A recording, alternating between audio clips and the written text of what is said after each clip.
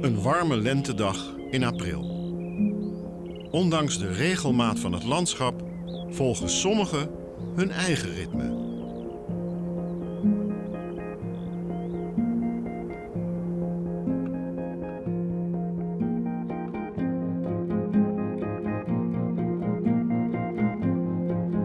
Dit is een ooievaar die anderhalf uur lang achter een zaaiende boer aanloopt.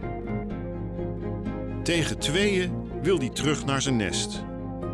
Hij maakt slim gebruik van onze sporen.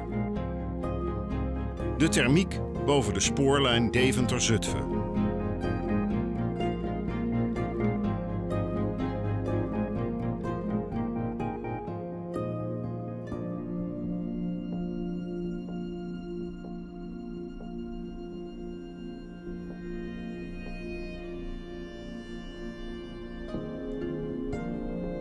Uiteindelijk bereikte hij een hoogte van 310 meter.